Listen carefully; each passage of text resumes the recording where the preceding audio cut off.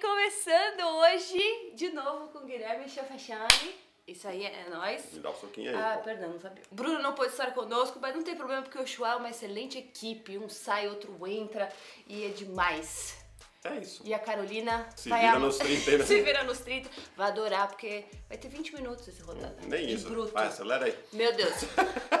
Guilherme tem horário. Eu tenho horário mesmo, Eu, gente. também tenho. Calma, calma, Guilherme. Respira. O que eu quero falar pra vocês? Que agora os jogos vão começar a ficar sensacionais. Se há um momento em que você quer convencer alguém de assistir NBA, o boy que não assiste NBA, Na temporada regular, porque o a é mina. fácil. É, O playoff é exatamente. fácil. Mas é bom a mina, o boy, a sua mãe e seu pai. Pra convencer as pessoas a ficarem assistindo basquete, agora é a hora. Abriu. Agora é a hora. Você pega e fala, vamos começar a assistir jogo. Porque agora todos os times começam já com mentalidade de playoff e a coisa fica boa. É, começa a querer, quem ainda não tá classificado, querendo a sua vaguinha. Tem play-in Quem já tá também. mais, mais ou menos É.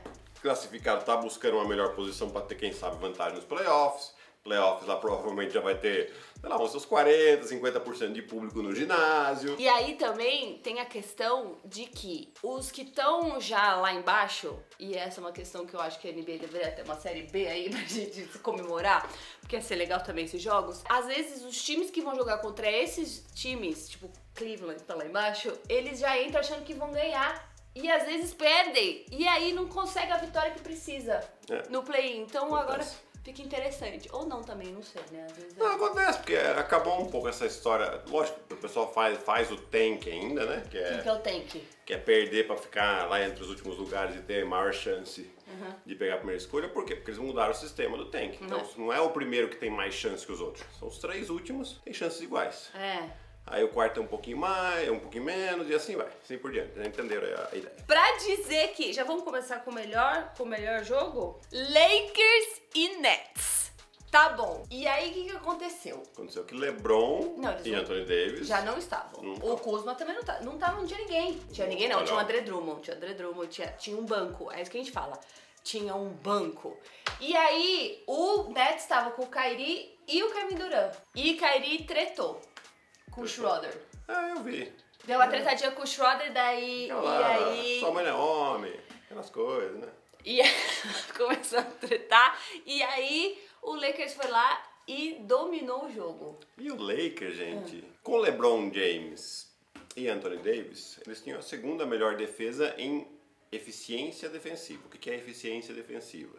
Pontos por 100 posses de bola do adversário. Né? Isso aí é um muito, muito mais co- completo que sim- simplesmente olhar lá os pontos sofridos Ah, tal. Por tá. quê? Porque você tem o pace, você tem o volume de jogo, né? Tá. Então é questão de aproveitamento. E aí saiu o o Anthony Davis e o LeBron, e nesses jogos que o Anthony Davis e o LeBron estão fora, o Lakers é a primeira defesa. Meu Deus. E por isso que eu digo que eu nunca mais aposto contra o LeBron. Eu ainda acho que o Lakers é, é um dos candidatos ao título. Ó, Principalmente agora. E LeBron foi no, foi no Instagram, soltou uma fotinho lá e falou: Tamo chegando aí, hein? Tamo chegando aí. previsão de LeBron. Do Anthony Davis, a previsão era semana passada, mas não, não se concluiu. Ah, mas tá indo bem? Eles deixam É, o menino lógico. descansar, deixa o menino descansar. É, mas a previsão do LeBron, dia 30 de abril. Meu Deus do céu, a hora boa de chegar é essa. E aí foi que a gente tava falando, foi quando o Lakers na pandemia se deu bem, porque ele recuperou todo mundo e eu acho que eles estão tentando fazer a mesma coisa. Agora eles recuperam todo mundo, vão estar zeradinho. É, André Drummond com 20 pontos e o Nets, vamos falar do Nets? O que, que acontece com o Nets? Não, o Nets tá tudo bem, mas ele vai ter que acertar a defesa, né? Que é o grande ponto fraco aí. Depois é óbvio. É, o, o James Harden voltando, depois de 10 dias que ele ia ficar fora, sei lá quando foi o primeiro dia, mas eles devem ter, somados todos os três juntos aí, um total de 23 jogos, né? O Nets com Kyrie Irving, Kevin Durant e James Harden juntos. É suficiente para entrosar os três? Não. Ah, pode até ser, né? Mas o mais importante é você não segurar atrás, amigão.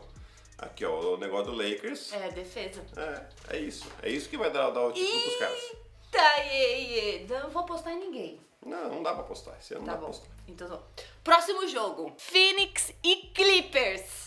Porque eu quero falar dos dois times. Primeiro que nesse jogo o Paul George jogou super bem e o Kawhi também. Deu uma dunk na cara do. Nossa. do Ari. Não, de quem? DeAndre Ayton. Do Andrew Ayton. Pivôzão, protetor de ar. Fala, ah, mas você, é você, você que é o cara que não deixa aqui, né? Parece um pouquinho aquela cena do Michael Jordan com o DK. Mutombo, né? Nossa. O Mutombo falou, não, na minha cara você nunca enterrou, nem vai enterrar. Aham. Ah, próximo Então tá jogo. Toma.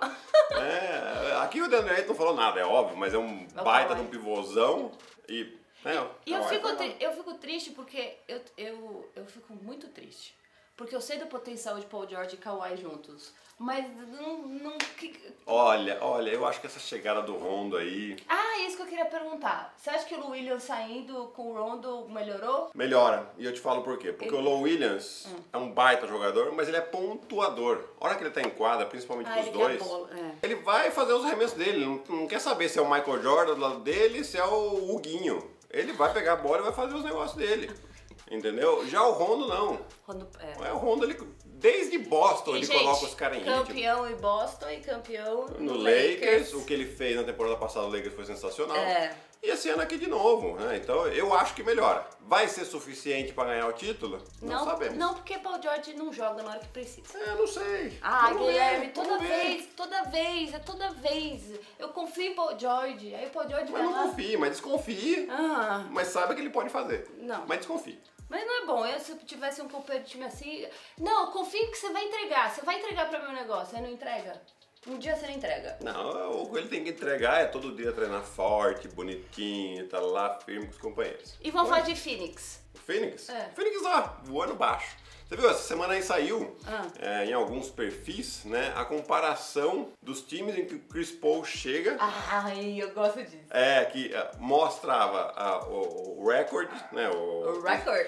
o histórico de vitória na temporada anterior e o histórico na temporada que ele chegou. E sempre aumentou tipo 20 vitórias, pelo menos, em cada time. Chris Paul. que foi o George. Chris Paul. E o Chris Paul Paul com o, Devin Booker aí, nossa, que dupla maravilhosa. Aí você tem mais o Jay Crowder que veio de Miami, né? Protagonista, protagonista não, coadjuvante total. Porém, um cara que defende forte, um cara que mete bola de três, né? Tentando Então, ver que lugar eles estão. então, Segundo. Segundo, geral. Geral, hein? Geral, é verdade. Geral. Só tá atrás de Utah que eles ganharam. E aí eles foram, né, um back-to-back nesse jogo aqui contra o Clippers, que eles perderam, que eles, na noite anterior eles tinham ganhado do Utah Jazz.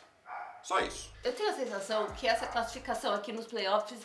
Não, não É. sei, Guilherme. Então, mas ele pode eventualmente ter um caminho mais tranquilo, né? Gente, o Lakers em quinto. Não, o Lakers provavelmente cai ainda, porque Oh, tem, será que vai jogar play-in? E o Dallas sobe?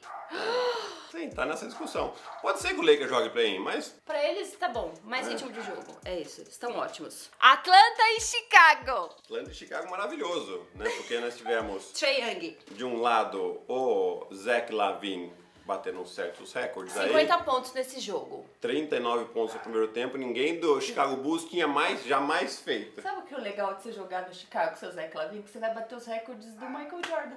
E Ah, aí, então. aí eu fico triste também que você fala. Hum, É, não vai, porque assim, daí Por até o próprio que- Zach Lavine, que terminou o jogo Ah. com 50 pontos, depois desses 39 no primeiro tempo, falaram pra ele, então, é, sabe o talzinho lá do Michael Jordan? Jogo que nem esse aí que você fez de 50 pontos, ele fez 38 na carreira.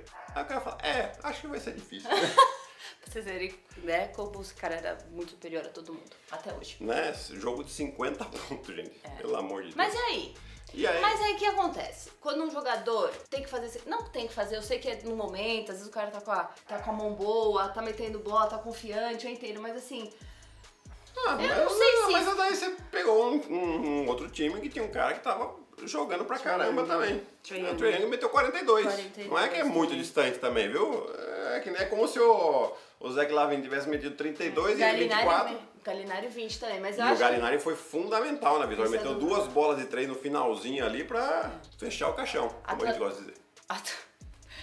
Quem tá em quarto, E aí? tá jogando muito bem. Depois que mudou o técnico, melhorou a defesa. Uhum. É, Que nem o Chicago. o Chicago O também. Bogdan, Bogdanovic, últimos oito jogos, média acima de 23 pontos. Também Esse outro jogo, jogador é. que realmente está agregando demais, principalmente pro ataque, né?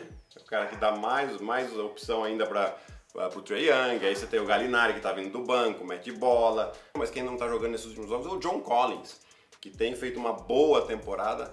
Negou um contratinho aí, a extensão de contratinho de 90 milhões porque ele acha que vale mais. Não sei, né? Mas Meu Deus, que delícia É. poder de- negar um contratinho de 90 milhões. Mas o Atlanta vai chegar muito em forma nessa, nesse playoff. E o Chicago. O Chicago que, que né, fez umas trocas aí. O Vucevic chegou, perdeu, perdeu um jogos, começou a retomar aí. Mas e aí? É, mas é um confronto direto, né? É difícil você ganhar do time do Atlanta. O time que tá jogando bem. O time do Chicago, assim, Tá a chance grande de estar no play-in, tá? Porque Toronto meio que largou mão da temporada também.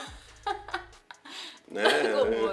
É. Largou mão. Tá bom, acontece. Toronto tem a sensação seguinte, que o general manager largou mão, já tá pensando na próxima, então tá fazendo as trocas dele e tal. E o técnico lá, o Nick Nurse, ele é competitivo, né? Então ele quer ganhar de qualquer jeito, mas não, na verdade você não joga esse, não, agora você não vai jogar esse daqui. Entendi. Tá segurando pra ninguém se machucar e poder É, trocar. Entendi. exatamente, né? E aí pensando na próxima temporada. Mas o Chicago, essa troca do Vucevic, lógico, cria uma grande expectativa para essa temporada. Mas essa troca é para próxima temporada já, gente. Para eles chegarem no mercado de, de free agency, tá bom, então, ó, Zach Lavine, Vucevic, Kobe? White. Não, Ah, eles vão trocar? não, não, vão trocar. Vão Convencer os caras. de é também. lógico, ah, porque se você tá. coloca mais um jogador de alto nível aí, esse time Fica bom pra caramba. vai né? brigar nas cabeças. É verdade. É essa a programação que o pessoal faz. Próximo jogo. Próximo jogo é o jogo de ontem, maravilhoso. San Antonio Spurs e Dallas Mavericks.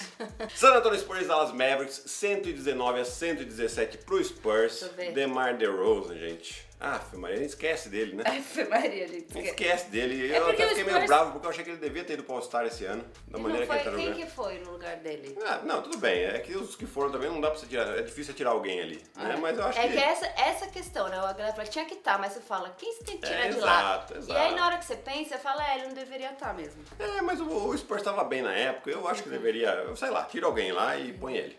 Né? Porque ele terminou o jogo com 33,5 rebotes e 8 Eu assistências. ia xingar o Porzingis, mas Mas principalmente, meteu a bola ganhou o jogo, faltando meio segundo. O jogo estava empatado, um contra umzinho e tal, step back, meia distância, meia distância, DeMar DeRozan. É, não tem jeito. Né? E aí o Dallas, o Dallas começou muito bem, principalmente com o Porzingis. O Porzingis, Graças a Deus. Oi, Porzingis, chegou. não, nos últimos oito jogos Chegou. ele tem Mas ele sentiu, acho que uma pressãozinha. Você Lógico, lógico. O que, que foi? Começaram a falar o nome dele no mercado em troca. Pronto. Aí, ó, o que aconteceu? A aguinha bateu na bunda, amigo. Eu acho que deve, eu acho que deve rolar assim, ó, o general manager fala. O técnico fala pro general manager, solta o nome dele aí, deixa sair aí num Twitter alguma coisa, rapidinho, solta aí pra ver se ele não melhora. Oito jogos, Oito Jogos acima de 20 pontos, mas principalmente pegando rebote.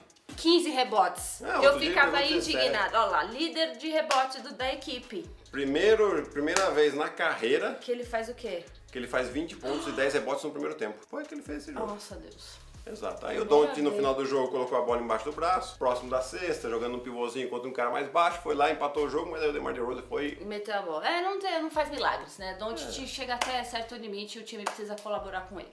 exatamente, Mentira, né? tá colaborando. né? E vamos ver, e vamos ver se na segunda-feira o J.J. Redick estreia. Ah, Estreia? Estreia, porque eu estarei neste jogo na ESPN entre Dallas Mavericks É, e Philadelphia e você- 76ers. Quando vai ser? É Segunda-feira, às 8h30 da noite. Essa segunda? Hoje? Exatamente, Carolina. Então apresse o seu. Senão não vai sair. edição, porque senão não vai valer essa piadinha que Essa eu estou fazendo maravilhosa. O que colocou deadline? É isso, gente. colocou, vamos ver. Vamos ver. Entra aqui no nosso Telegram. Ah, Ah, deu uma é chacoalhadinha verdade. no braço, não gostei. Entra aqui no nosso Telegram, que eu tenho colocado os palpites na Você não faz as flexões de manhã todo dia? Ah, faço. Faço. Ô, se eu faço. Acorda de... É, Oi, Gabriela. é, é isso que a Gabriela acorda. A Gabriela acorda comigo fazendo flexões. Tá? Eu tô rindo porque acho que deve ter gente que faz isso. Ah, não sei, meu. Eu acho que tem gente que faz Ah, e, eu tá não é, e não é demérito, tá? Não é ruim que eu tô falando. Ué, tipo, cada um com a sua mania. Tem gente que acorda e faz flexão. Eu acordo e vejo o resumo de todos os jogos da NBA. É assim, cada um tem a sua eu acordo e fico pra É isso. Você entendeu? Ai, maravilha. Então, além de você se inscrever no Telegram, você se- segue a gente aí na, nas redes sociais. Se você não está inscrito ainda aqui nesse canal, você é um vacilão ou uma vacilona. Tá certo? é Então, por favor, se inscreve aí. Né? E, obviamente, coloca aqui pra gente onde você acha que esses times vão chegar. Coloca aqui, coloca a classificação final pra gente. Duvido você colocar. Duvido. Os primeiros 10? Ah, os primeiros quatro de cada conferência. Tá bom. Ah, mas Não precisa vai mais que mudar muito, Gui. Tá bom, pode ser os primeiros Da quatro. Conferência Leste não, mas da Conferência Oeste muda. Ah. Então coloca aí pra gente. Quando que começa o playoff? Maio? Maio. Play-in, acho que é lá pro dia 19 de maio. Tem Então, basquete ainda, tem basquete ainda. Tem basquete. Temos que terminar, tem gente, basquete. porque o Então tá bom, beijo, tchau. É isso. Saudade de todos vocês. Beijo. Manda beijo pro Chão. Beijo. Tchau pra vocês. Até a próxima. Quando o Bruno não aparece, eu tô aqui. Dancinha, Guilherme. Não, não sei não. Tchau. Ai, mas toda vez.